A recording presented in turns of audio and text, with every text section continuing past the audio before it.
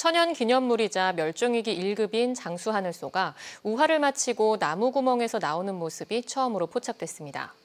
암컷 장수하늘소가 야생의 알을 낳고 4년 만에 성충이 돼 나온 건데 자연 복원 가능성에 기대가 높아지고 있습니다. 조성식 기자입니다.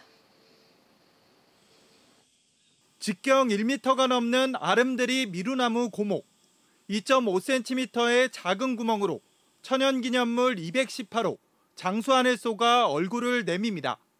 단단한 턱을 이용해 쉼없이 나무를 갉아내고 발을 뻗으며 밖으로 나가기 위해 애를 쓰는 데만 5박 6일이 걸렸습니다. 마침내 몸 길이 8cm의 수컷 장수하늘소가 모습을 드러냅니다. 성충이 된 장수하늘소가 나무를 탈출하는 모습이 온전히 포착된 것은 이번이 처음입니다. 성충으로 돼서 뚫고 나오긴 힘들어요. 요 근처까지 아주 얇게 뚫고서 거기서 이제 어, 번디가 되는 거죠.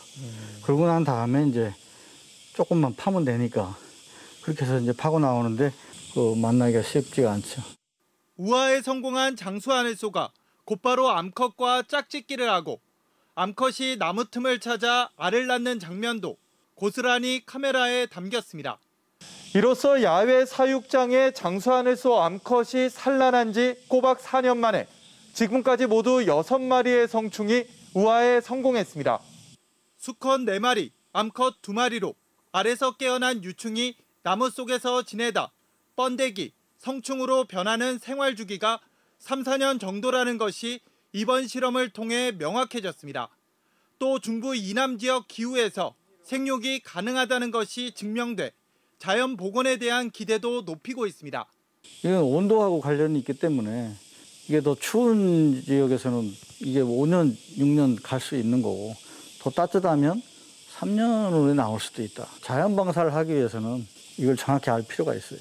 천연 기념물이자 멸종위기 1급인 장수하늘소 성충의 수명은 2, 3개월 정도입니다.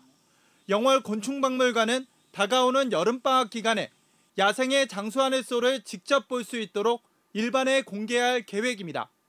MBC 뉴스 조성식입니다.